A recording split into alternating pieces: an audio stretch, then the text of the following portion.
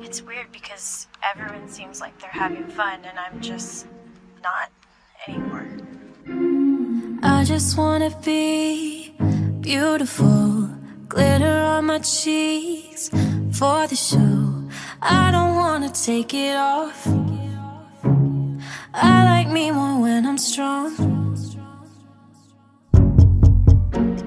I can find myself in pieces